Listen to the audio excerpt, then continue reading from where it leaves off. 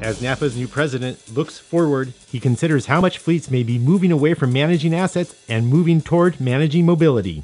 It's a tough question to ask about the initiatives that I believe NAFA will be moving towards in the next year.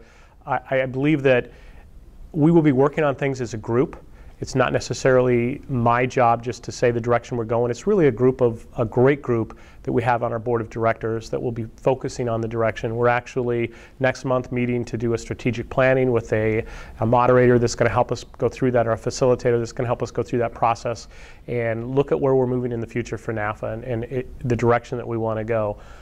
Uh, personally, I believe that I that NAFA needs to really focus on what the fleet management industry is going to the direction they're going to go in the future? And is that still going to be managing the assets, as I men- mentioned earlier, or will it be more mobility management?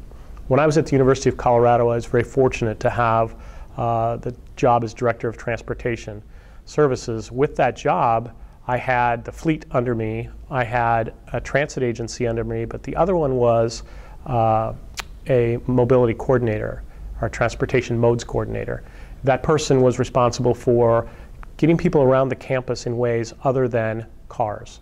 And I, I, think that that's the direction that we're going to see a lot of fleets having to go is how are we going to get people or products from point A to point B without actually having an asset in our inventory to do that.